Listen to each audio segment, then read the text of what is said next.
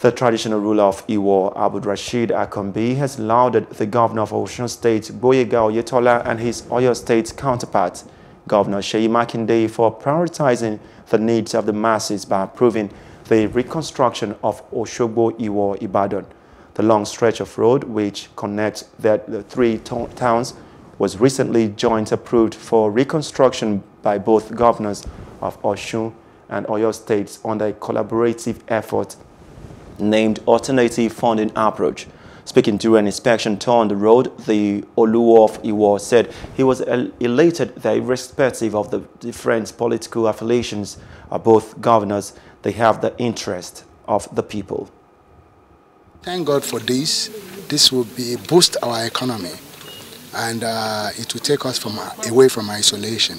We have been isolated because of roads and uh, today we have broken the jinx that has bedeviled our society and our area for long.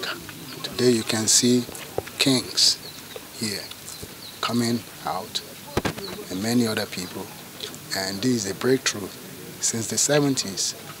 That's the last time they did this road. I think 78, 79 and today is a great and uh, we are so happy that our people will not be suffering anymore. The engineer handling the 91 kilometer road, Lekan Adeleke, said with the commitment of the two states, the project would be completed in 18 months under the supervision of road management teams from both states.